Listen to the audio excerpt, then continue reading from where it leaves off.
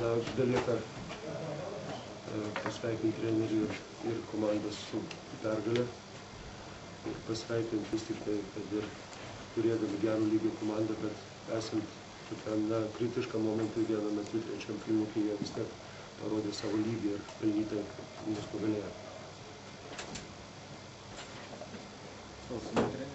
Treneri, panašu, tarkim, kad žalę aprengą pirmus du kelnius ir paskui sekančius du vilkio skirtingos komandos. Sakykit, ar negalėtume to, ką pasakėte per pertrauką, pasakyti prieš varžybas žaidėjam? Na, man atrodo, kad jūs neabejojat, kad panaši kalba yra ir prieš varžybas.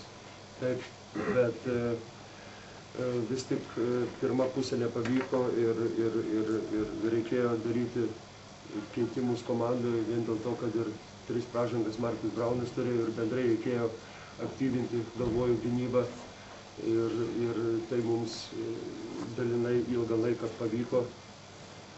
Ir e, čia, jeigu galima taip pasakyti, toks planas buvo panašus kaip ir prieš rungtynę su CSK, kad palaikyti na, tokį su viena sudėtim, kurie tikrai dirbtų gerai gynyboje ir kai pavyko sumažinti rezultatą, tada persilaužimui mesti pagrindinės jėgas ir, ir bandyti dar pasiekti tą perlaužimą.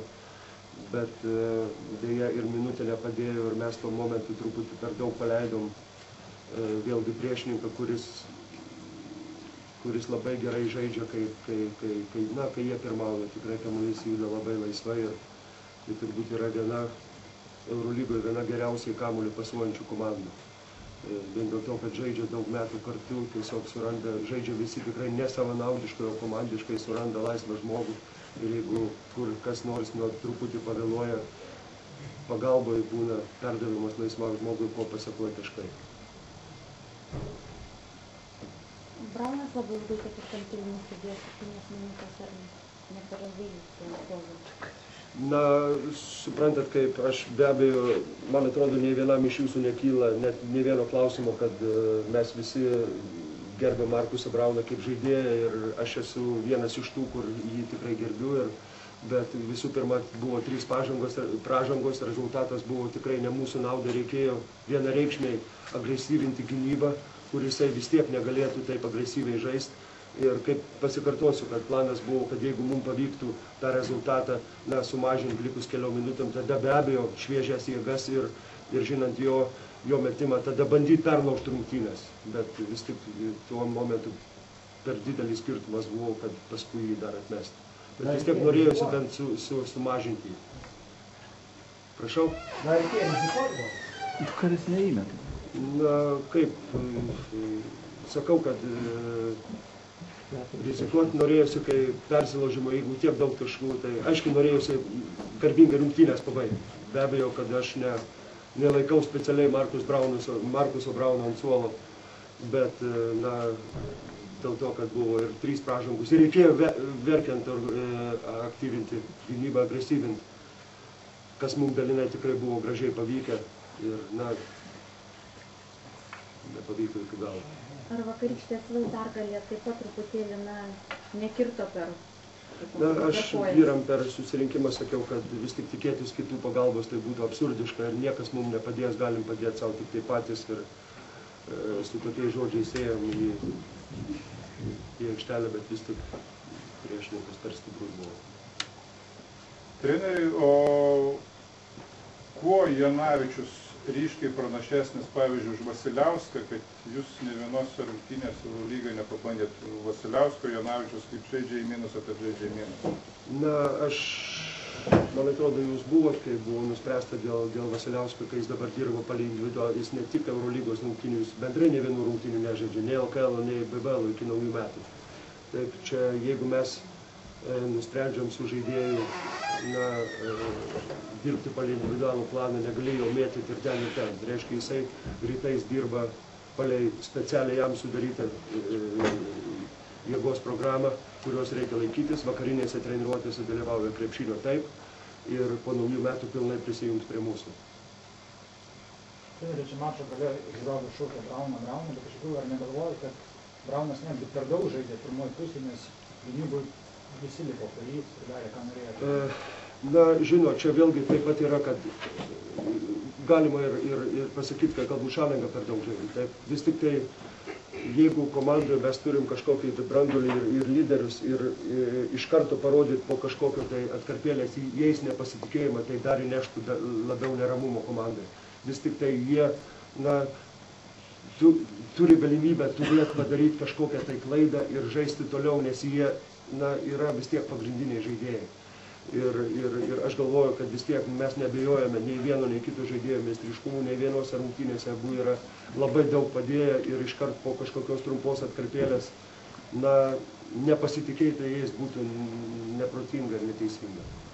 O kaip vertinate Iškevičius įsitraukimą žaidimą?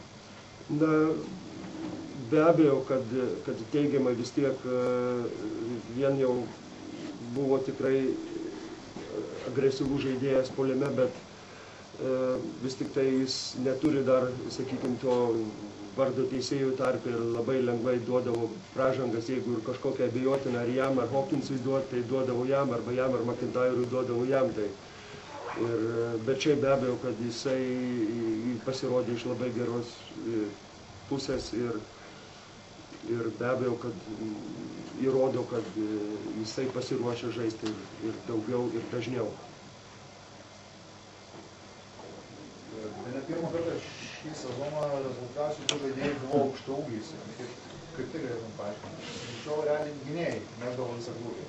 Kalbu apie puolimą. Na, jūs supraskit, kad komandos, kaip mes ruošiamės žaisti prieš priešininką, taip ir kitos komandos ruošiasi žaisti prieš mus. Ir man atrodo, kad nei, nei vienai, tai yra sienos komandai, nepraėjo nepastebėtos paskutinės rungtynės su Centriniu armijos sporto klubu, kur Markusas Braunas tiesiog žibėjo ir, ir, ir nebereikalo Hawkinsas pasirodė startiniam penketė, nors jisai ne visada tai daro, tiksliau, ne visada jisai išleidžiamas yra su konkrečia užduotavim.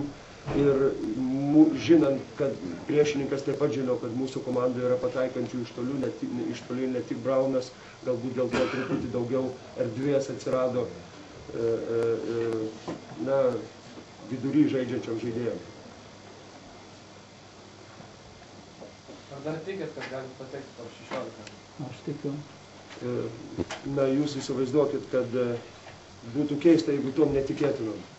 Kaip tai atrodytų iš šalies, ar keistai, ar kaip, bet kaip mums niekas nepadės, taip ir dar nėra paskutinės viltis prarastos ir čia aš tik pasakysiu, kad kol yra galimybė, tol tikimės. Sakykit, šeštadienį su Lietuvos rytų Vilniuje, ar planuojat žaisti iš visų jėgų, ar vis dėlto pataupysite, tai turbūt nėra pačios reikšmingiausios tos rungtynės. Be abejo, nėra visų pirma, rytoj susirinkę, pažiūrėsim, kokiam stovi, nes po tokių rungtynių jau įėjus į nusirinkimo kambarį ir pamatus, kad neužtenka masažuotojui ledo tų maišelių ir žaidėjai yra apdėti, pažiūrėsim, kaip mes iš vis fiziškai atrodysim, o tik tada galėsim nuspręsti, kokia, kokiam stovi ar kokią komandą mes atstovausim žaisdami Vilniui šeštadienį. jau. Treneris susidaro toks įspūdis, kad mes kitą kartą per daug verkia. Vienas pervargsta, kitas nedavargsta, trečias per ilgai žaidžia, nors žaidžia 25 minutės. Pas pačiesa Loganas žaidžia po 38-40 minučių ir kaip žaidžia, taip žaidžia Eurolygai ir nepavargsta. Kas yra? Na, man atrodo, kad jūs paskaičiuokite, kiek mes sužaidėm rungtynių, kiek Loganas. Bet tai palaukit, kiek mes sužaidžiam tokio lygio rungtynių, kaip Loganas sužaidžia? Ar su Techasu čia fantastiškas lygis rungtynės? Ne, tai jūs įsivaizduokit, kad kiekvienam žaidėjui bet kokios rungtynės tai yra, na, pasiro, jisai ruošiasi rungtynėm. Ir tai kainuoja tiek energijos, tiek, tiek na, emocijų. Ir jeigu žaidi nepilnai kas tris dienas, tai jų kažkada tai pritrūks ir taip trečią mėnesį. Jau sužaista 30 rungtynių dabar, nepraėjo dar 3 mėnesiai. Net kas nepilnos 3 dienas vyksta rungtynės, nu, tai nėra lengva vyrams sukaupti tą nu, emocijas galų gale rungtynėm. Čia neverkimas ir nepasiteisimas. Aš, jeigu jūs klausėt, aš turiu kažką atsakyti. Jeigu jūsų veiduose šypsenos yra, tai jūs supraskite tą kaip norit.